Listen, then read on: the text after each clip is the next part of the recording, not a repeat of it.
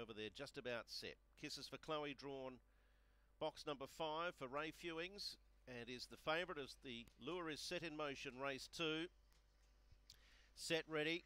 Racing. Kisses for Chloe only average away. Rusty Fury beat her to the rail, but now Kisses for Chloe goes up to Rusty's Fury and moved away. Will Burner's third. Orphan's Girl, then Billman Stunner. Last of all is Zoltan.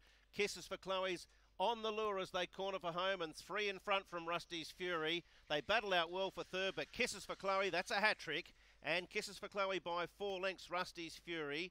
Photo third, Orphan's Girl or Will Burner. And then Billman, Stunner and Zoltan. Five, four, one to get third ahead of number eight, Orphan's